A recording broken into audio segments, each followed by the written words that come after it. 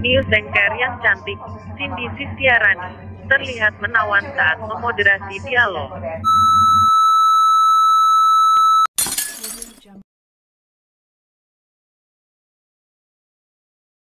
Terakhir di pemakaman Ratu Elizabeth II di Westminster Abbey, London.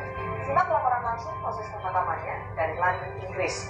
Kami juga akan membahas hasil sidang kode etik banding Verdi Sambo yang menolak pengajuan banding dari Verdi Sambo. Maka secara resmi, Polri telah memecat Verdi Sambo dari kepolisian. Selengkapnya akan kami hadirkan bersama saya Cindy Sisterani di Sapa Indonesia Malam selengkapnya. Etik memutuskan menolak permohonan banding pemecatan Verdi Sambo. Ini artinya Verdi Sambo resmi dipecat dari Polri. Saudara Menko Polhukam Mahfud MD menyebut dugaan korupsi Gubernur Papua Lukas NMB mencapai ratusan miliar rupiah. Mahfud meminta Lukas kooperatif Lukas untuk diperiksa NMB. KPK. Mulai sejak era Raja Alfred the Great yang berasal dari Wessex. Sejarah panjang monarki Inggris terus terjaga dari zaman-zaman hingga saat ini ada 56 negara persemakmuran di bawah monarki Inggris. Terima kasih, Sofi Syarif, koresponden Kompas TV di London, Inggris.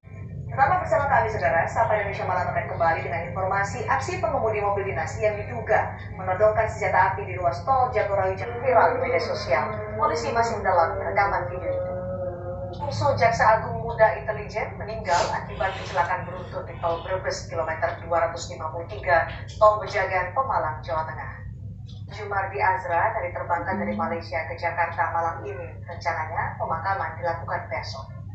Dengan informasi Indonesia berhasil melaju ke piala Elizabeth kedua dimakamkan di London, Inggris hari ini. Tidak hanya disampaikan rakyat Inggris, sejumlah pemimpin dunia juga hadir langsung memberi Elizabeth II meninggal, ya, yang memimpin Inggris Ya. selama 70 tahun proses makam berkunjung ke Indonesia. Dari kunjungan ke Bali, Jakarta, dan Yogyakarta kala itu, Ratu mengaku terkesan dengan keragaman budaya Indonesia. Berhasil melaju ke Piala Asia U20, Garuda Nusantara lolos sebagai juara grup F setelah melalui pertarungan ketat melawan Vietnam dan menang 3-2.